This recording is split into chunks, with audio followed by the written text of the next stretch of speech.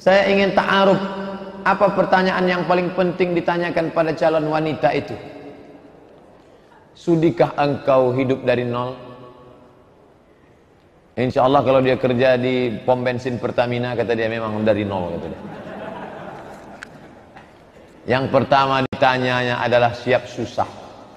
Agama, fasfar bizatiddin, pandang karena agamanya, panjang hijabnya, tunduk pandangannya tak jelalatan, siap dia hidup susah dengan kita. Banyak orang hidup siap senang, tapi tak banyak yang hidup susah.